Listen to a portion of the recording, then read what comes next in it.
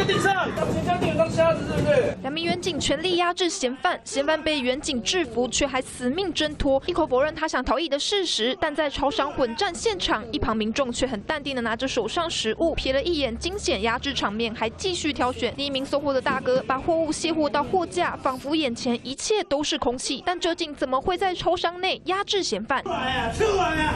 事发就在新北市芦洲区和平路。九日晚上七点多，一名员警在执行勤务时，发现男子神色慌张、形迹可疑，并上前盘查，将他指引至一旁超商内查证身份。但查证身份的过程中，男子辩称没有带到拘留证。查看手机内照片，才发现男子就是一年前通报过的越南籍失联移工。男子见失联身份被发现，竟意图逃跑而遭远警压制，警询后将解送至新北专勤队。这下成功压制一年前通报的失联移工，顺利遭逮送进警局。只是压制场面惊险，民众淡定买东西的反差也成了另一种焦点。记者新北综合报道。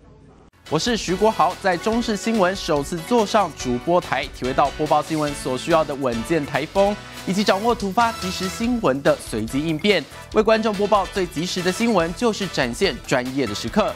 更多新闻，请锁定中视新闻 YouTube 频道，记得按赞、订阅、分享，并开启小铃铛哦。